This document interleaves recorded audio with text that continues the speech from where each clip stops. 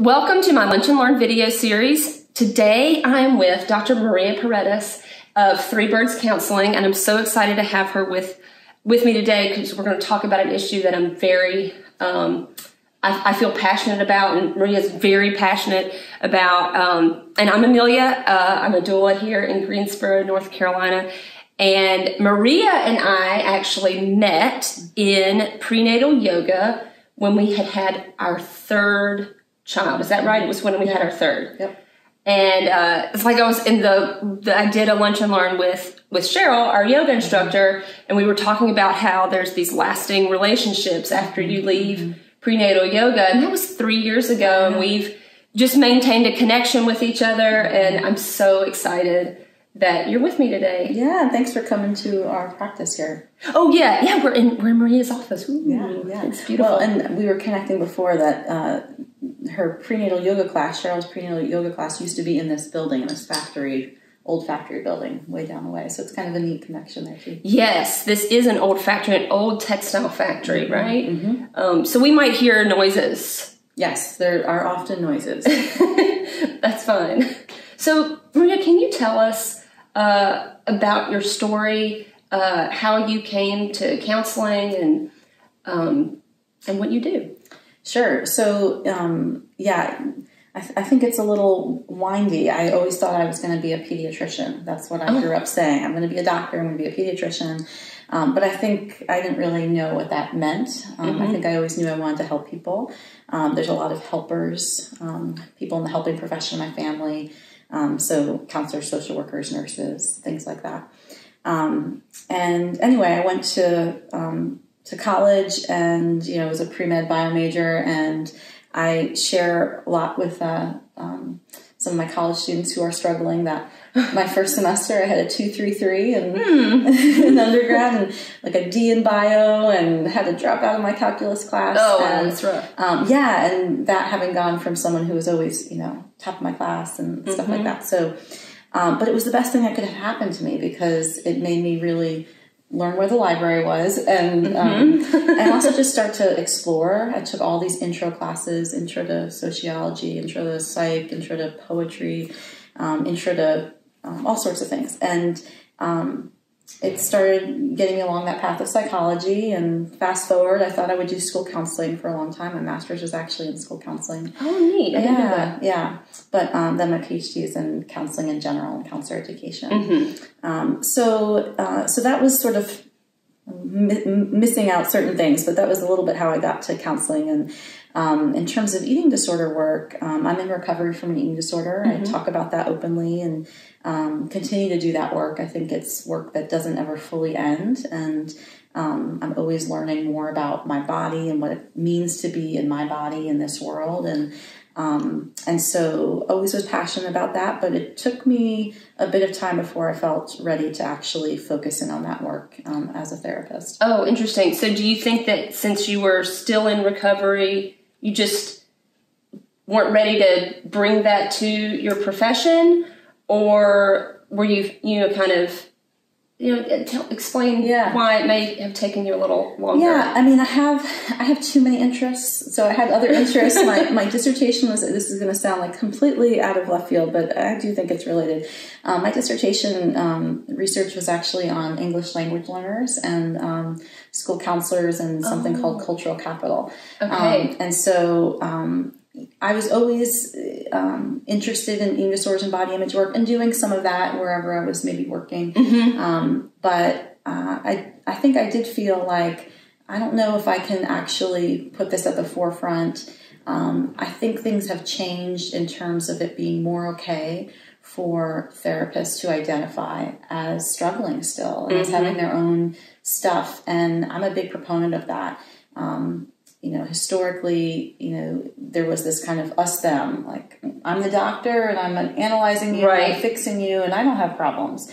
Um, and that's just not the way it is. We're all human. So um, every good therapist I know goes to therapy um, or has been to a lot of therapy, and um, we're not immune to the same things that anyone else walking this earth um, deal with. That's very true. It's like I'm a health educator, so it's mm-hmm. like saying that health educators all have to have right. the most perfect health and. Mm-hmm you know, that's just not the case. Yeah. We all struggle with something. We all struggle, and I find that owning that and being able to be real about that um, helps me be a better therapist and helps me connect with folks. Um, I think my clients know that I get what it feels like to Yeah. be in that seat, Yeah. um, to be vulnerable and to be sharing with a virtual stranger, um, you know, your deepest, darkest fears and struggles and all that.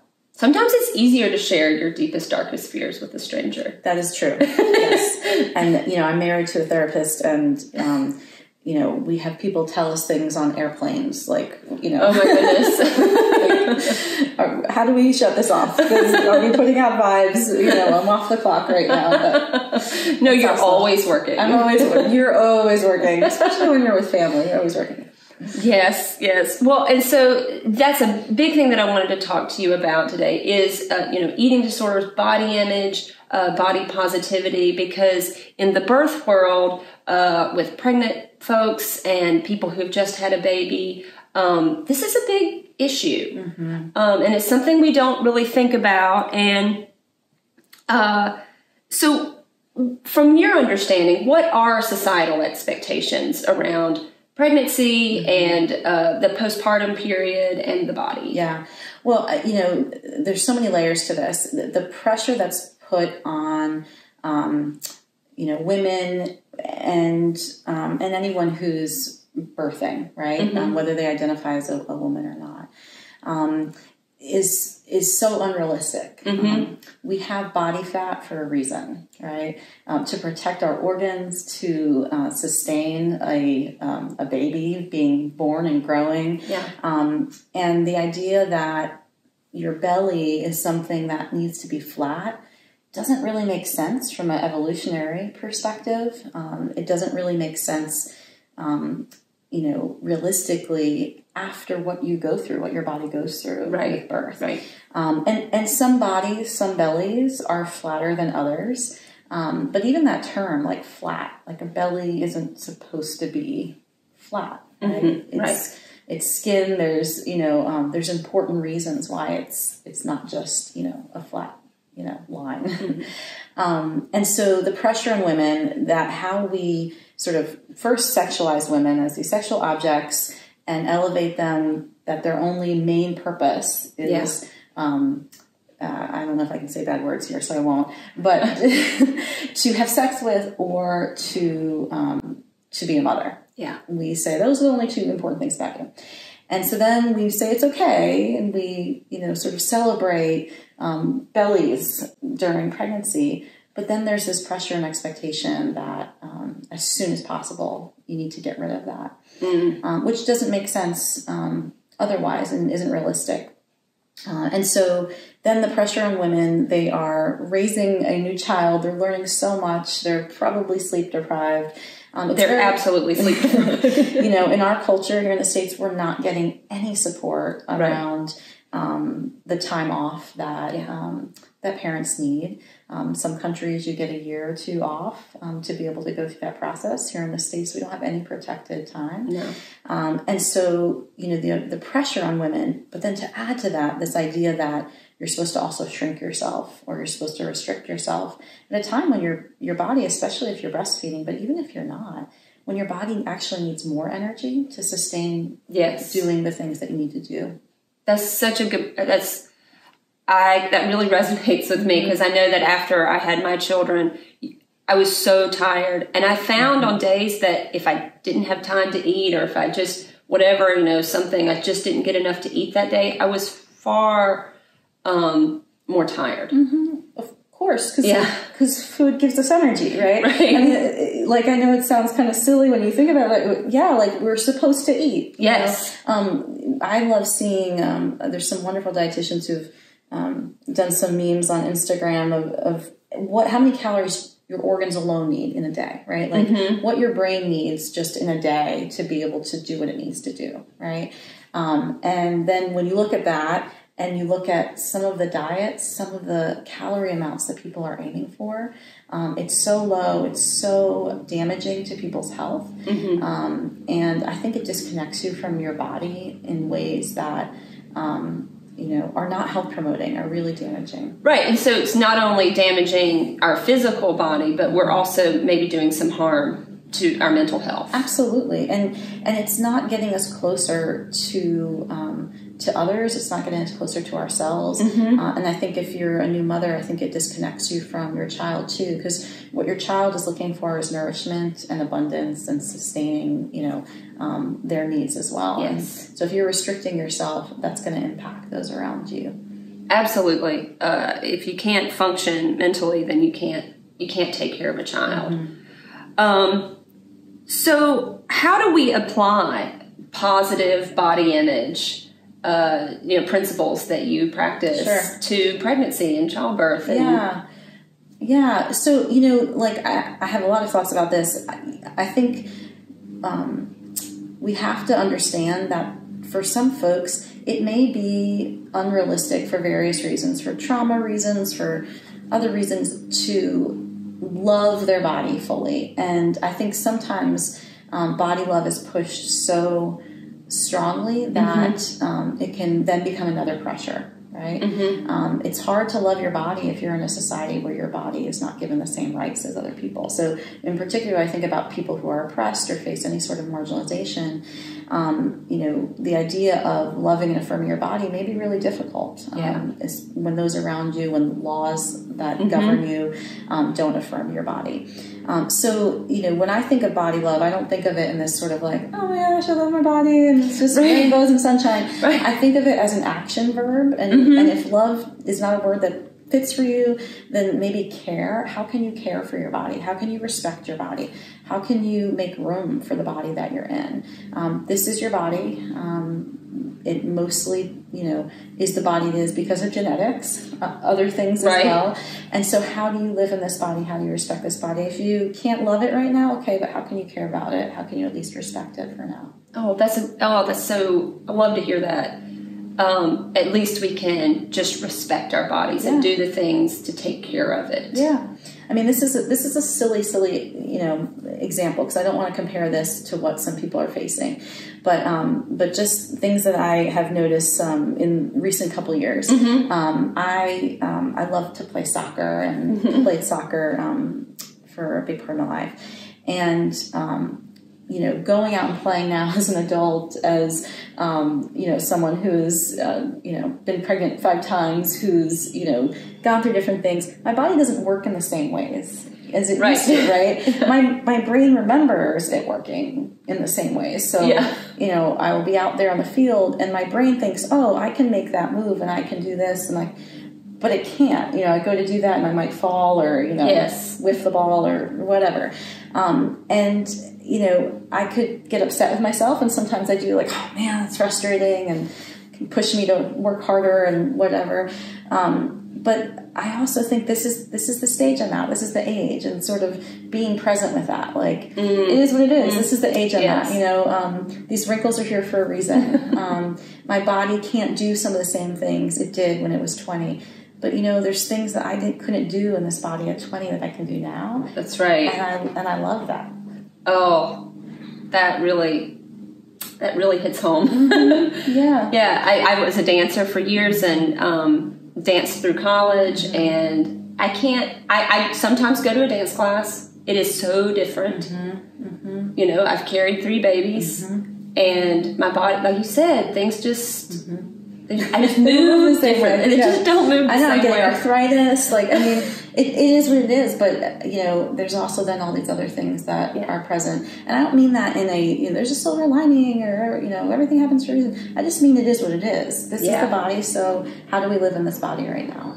Oh, very good point. So, uh, I know that you know in the body positivity movement, uh, there is a lot of pushback. It, to what do you say to people that say, well, you know, if you gain too much weight, it, you know, that's a health problem.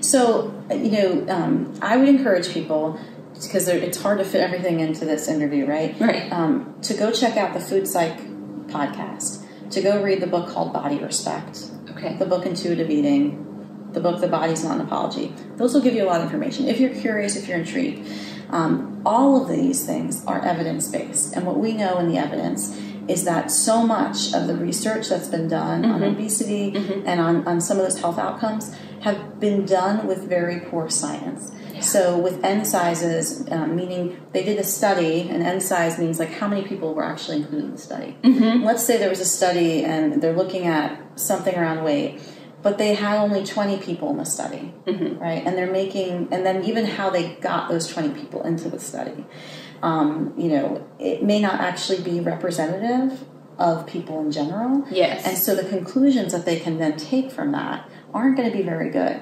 And a lot of the obesity research is not grounded in good science in terms of those things.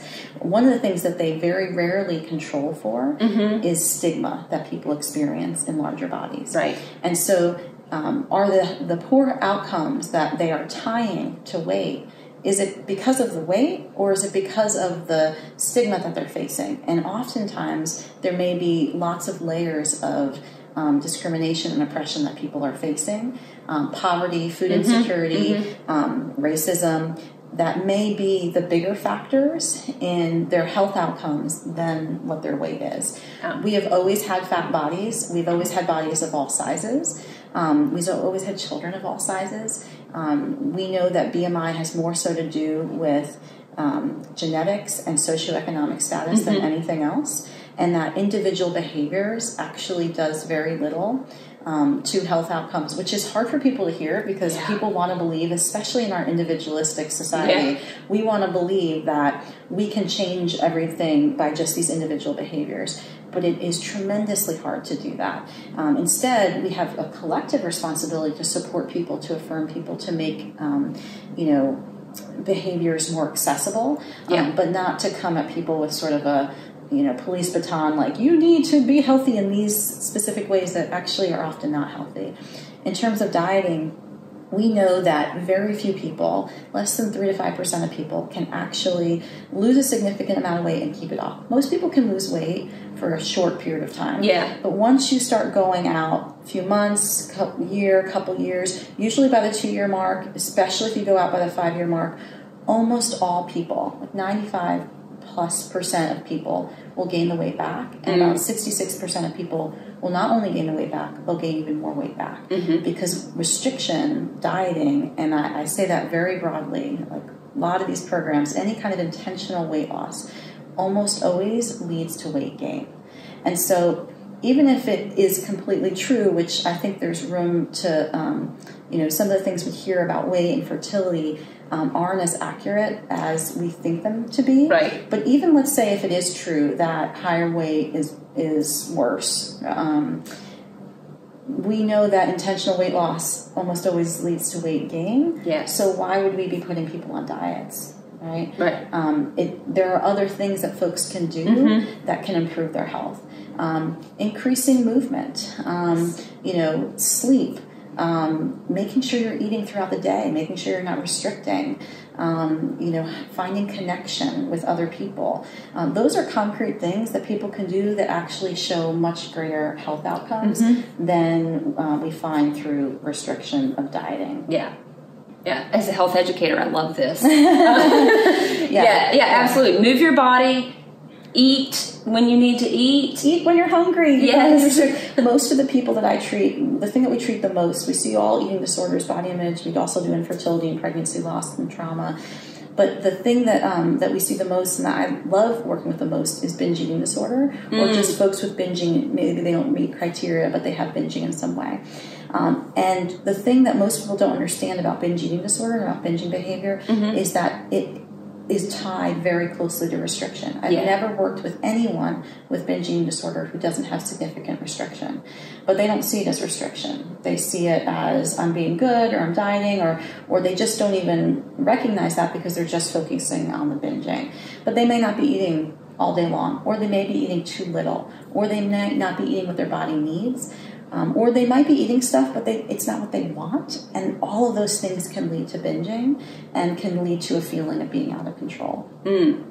Oh wow, yeah. and I can imagine, I can see that too happening with folks who have just had a baby mm-hmm.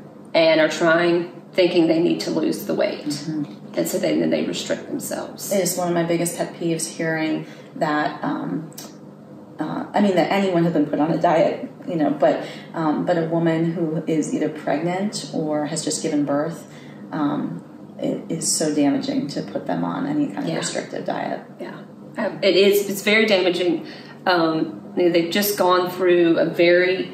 It's a fact. What we don't realize is that pregnancy. It, it the changes that happen to our body happen so quickly, and then you know. So then we have to we have to give ourselves time to to recover from that very quick transition.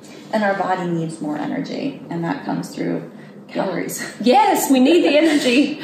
Uh, what about what can so what can health professionals do? Health educators, providers, what can they do to help Yeah. um, let go of this stigma? I think be curious about some of these things. If, if you heard something I've said and you and you thought that sounds weird or that sounds odd, just be curious and go to learn more. Because curiosity, I think, leads to education and more information. And, and isn't that what we want for our Yeah. health professionals and for ourselves?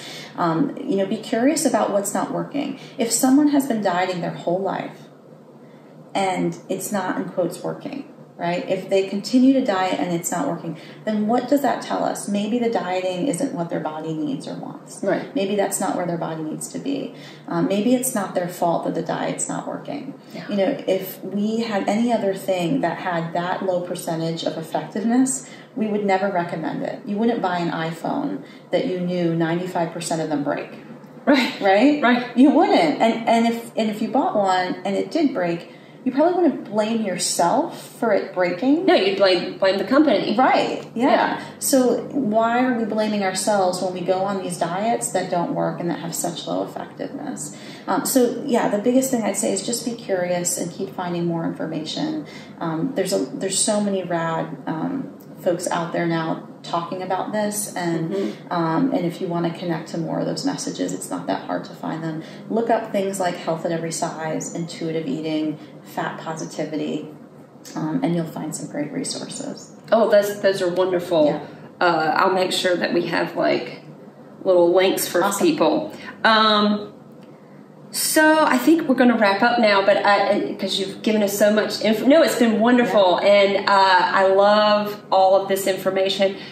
Tell us, but really quickly, um, you've told us some of the work that you do in your practice. Uh, with Three Birds Counseling, uh, and how can people get in touch Yeah. with you? So our website is threebirdscounseling.com. You can spell the word three or just put the number three. Um, on Instagram, it's with this body. Um, and then on Facebook, it's Body Politics with Dr. Maria Paredes.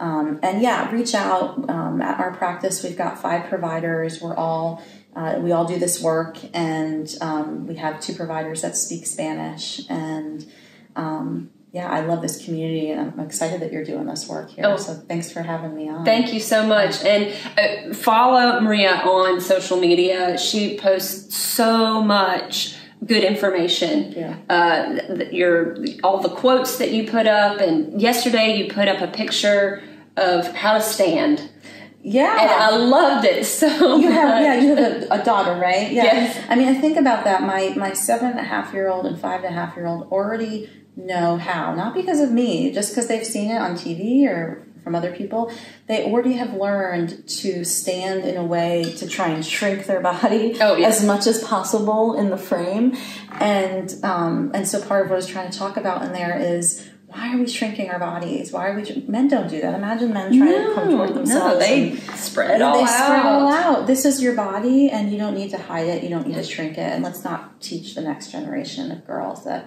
they need to shrink or hide their bodies. Oh, thank you so much. Yeah, thank you for the work that you're doing. Thank you. Thank you for being with me today. Yeah. And uh, give Maria a call if you need her. Thank you.